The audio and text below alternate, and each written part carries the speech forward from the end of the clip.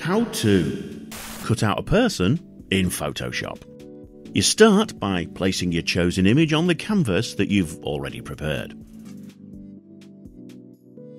Resize the image by dragging the transform controls. These are the little handles at the corners.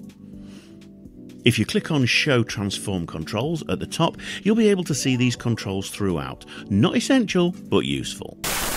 Select Layer so you know you're working on the right layer. Then go to the Quick Selection tool. Make sure you choose the Add to Selection, that's the plus at the top. Then hit Select Subject, which automatically selects the most prominent object in the image, in this case, the woman. Then go to Add Layer Mask, and the background disappears. Now, the edge of the mask needs refining. So, double click the thumbnail and you can now edit the layer mask.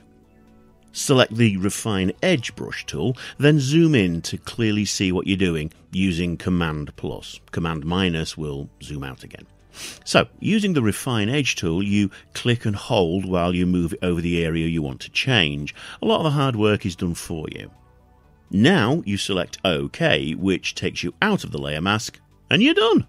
Happy? Good. You've cut out your person and refined her edges. No photo is safe from you now.